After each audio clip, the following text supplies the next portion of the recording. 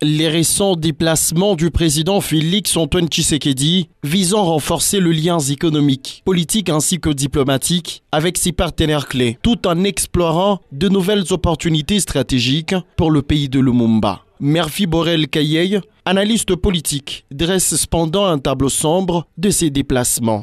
Nous, pensions que ça serait important tout ce que le président effectuait comme voyage, parce que lui-même l'avait dit qu'il cherchait à ce que notre diplomatie soit euh, plus euh, agissante que possible.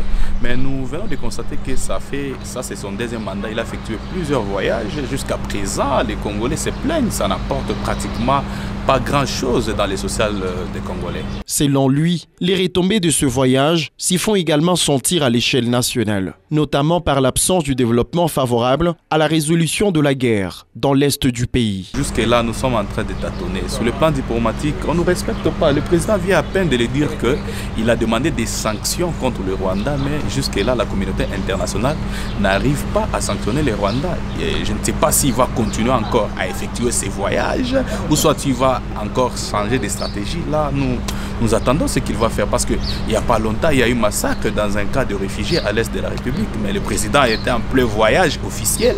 Il a demandé des sanctions. Jusque-là, ça, ça ne marche pas.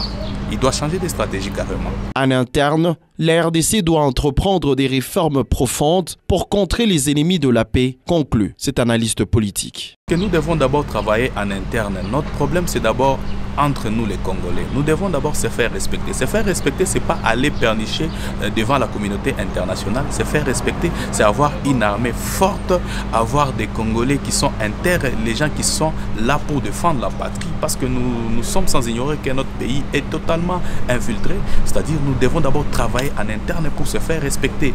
Avant d'aller chercher l'aide de la communauté internationale, nous devons d'abord être sérieux. Quand la communauté internationale verra que nous sommes un peuple sérieux, facilement ils vont nous accompagner.